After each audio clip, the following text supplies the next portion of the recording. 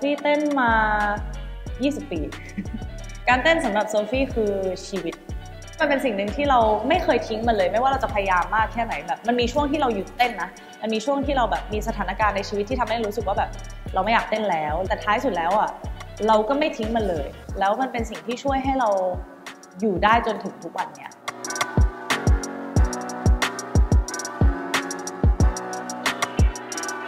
สวัสดีค่ะโซฟี่อัปสรสิริ อินทรคูสินนะคะ วันนี้มารับบทเป็นโฟกัสค่ะ ซึ่งตัวละครของโฟกัสเนี่ยเขาจะเป็นคนที่มีความห้าวเล็กน้อย เป็นคนที่พูดตรงไปตรงมาง่ายๆเลย เป็นคนที่แบบว่าเราเชื่ออะไรเราพูดแบบนั้น เขาจะไม่ค่อยมีฟิลเตอร์ในในการพูดของเขาเท่าไหร่ เพราะเขาเชื่อในสิ่งที่เขาแบบในสิ่งที่เขาคิด passion ของเขาก็คือการเต้นแหละ จนมันมันนำพาให้เขาเข้าไปสู่วงการบันเทิงได้ แต่ว่าเหตุผลที่เขากลับมาที่ชุมชนของเขาเนี่ยเป็นเพราะว่าเหมือนเขาอยากจะพัก จากความวุ่นวายของวงการบันเทิงตรงนั้นนิดนึง เพราะว่าเหมือนมันทำให้เขา lose passion ของเขาเขาไม่ได้มีความสุขกับการเต้นที่เขารักมาตั้งนานแล้วอะไรอย่างเงี้ย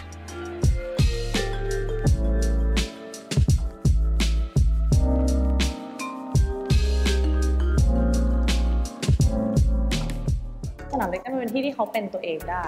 แล้วก็มันเป็นที่ที่เหมือนสอนให้เขาเปิดใจ มันสำคัญที่จะทำให้เขาเป็นคนที่เขาเป็นทุกวันนี้ได้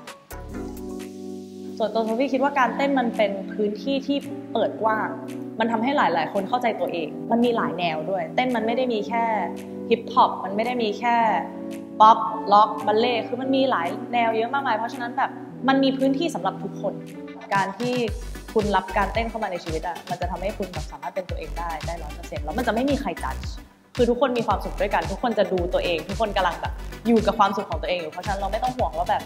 คือฉันเต้นไม่ดีจะมีคนมาดูเราหรือฉันทำไม่ได้มันจะอะไรหรือเปล่าไม่เป็นไรมันแค่แบบ มันแค่เป็นความสุขของเราเราเลยรู้สึกว่าแบบมันเป็นสิ่งที่อยากแนะนำให้ทุกคนได้แบบ เข้าไปแตะต้องมานิดนึงอะมันมันจะทำให้เราเราแฮปปี้ขึ้น